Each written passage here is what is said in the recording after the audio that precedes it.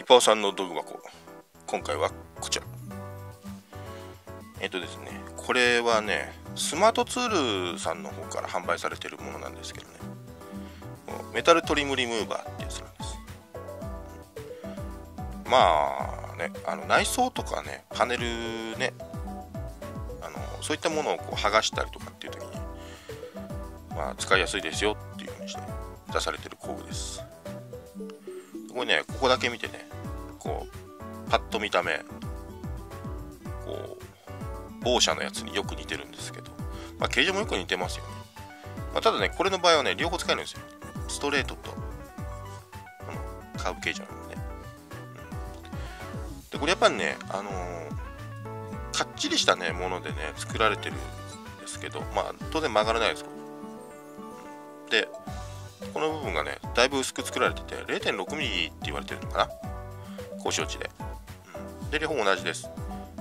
厚みとしては、ね、同じで。形状もよくほとんど同じで。ただストレートかカーブしてるか。その差で作られてるんです。でこれねもともとね家でねあのこれ使ってたんですよね。この PP さんのタイヤレバー。これね家具とかをねちょっといじったりするときに、ね、こじったりするのは、ね、バールとかと違ってちょうどいいんでこれをずっと使ってたんですけど。でこれねあの使いやすいのは使いやすいんですけどそれなりにこう大きいんですよこれ。うん。でこれねここクラフトグリップなんでこうグリップがクラフトグリップな分こうちょうどかっちりしてねこう手の感触もね良かったんでいいんです。これね 1mm ぐらいなんですよここ、でこれ車の内装剥がしとかねそういうことでもねよく使われる方多いんですけどこれ悪くはないんですけどこの 1mm っていうこの厚さが微妙になんかこうね入っていかないとこってやっぱりあったりするんですよもうちょっとって感じ。まあ、ほぼほぼこれでことは足りるんですけどね。で、大きさもやっぱちょっと大きいかなっていうので、あの、これを買ったんですよ。こう、サイズ的にそこそこ使いやすいのとね、まあこれかっちりしてるんで、ちゃんと力もこうかけて、かけやすいのと、あと感触も分かりやすいっていうので。で実際ね、使ってみるとね、悪くはないんですけどね、あの例えばの話、こう、オーディオを取り付ける時のパネルを剥がすとかももちろんなんですけど、あのー、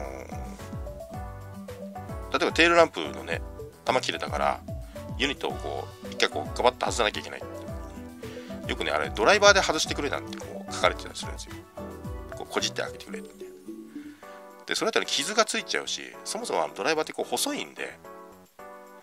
やっぱちょっと面白くないんですよね。一点にこう力がかかっちゃうんで。で、そういった時にやっぱね、こういう方がいいんですよね。問題が起きにくい。で当然入りやすい。でこれねいいなと思ってたらもうミニサイズがこう出てもういいじゃん。でいざ買ってみたらこれかなり小さいんですよこれね。このぐらいこう差があって。もうだいぶ小さいんですけど、まあ、ただ形状とかはもうほぼ同じでこう先端の厚みも同じぐらいに作られてますこれ。だいぶ薄いんですよねこれでもだから多分 0.6mm ぐらいじゃないのかな、うん、でこれやっぱりあの模型とかでもですけどねこうあの家の中で使うのにもちょうどいいかなと思ってこう買ってみたんですよ。細かい作業とかねいいんじゃないか。あとこれねあのペンキの缶とかねそういうのもまあ当然なんですけどあのコインドライバーなんかの代わりにも当然使えます、うん、でこれサイズもね小さくてねちょうどいいんで実はこれあのスパイスの缶なんてあったりもするんですよ。まあお料理する人だったらね分かるかもしれないですけど。であのそうですね。国内で言ったらあの赤缶ね。あの某社の。あれのね缶を開けるときなんかもうこれね 非常に使いやすいんですよね。だね。意外にこれね工具として売られてはいるんですけどあのキッチン周りでも使えたりしますこれ。で場所もそんなに取らない。んでこれね地味に結構良かったりするんですよ。まあね安いのとかを見ていくとあの某通販サイトでこういうのもあったりはするんですよ。これはちょっとねこれねクリップとかもね外したりできるっていうのでちょっと買ったんですけどこれね400円ぐらいで売られてたりするんですよね。すごい安いです。ただこれってあのまあ値段なりなところもあってこの部分が、まあ、そこそこ薄く作られてて意外に使えたりはするんですけどこれねバリあるんですよこれ。ちょっとこう引っかかりが。だから使う前にねあのこう錆びるのとかねあのちょっと傷つくの覚悟でちょっとここら辺をねちょっと撫でた方が良かったりするんですよ。あとこれね両側使えてこういう風になってるんでねまあ意外に使えたりします。ただねこれねやっぱビームにこうやって反るんですよ。しなる。強度的にちょっとまあ値段なりかなまあただこれね悪くはないんですけどこ割り切ってこぐんですよね、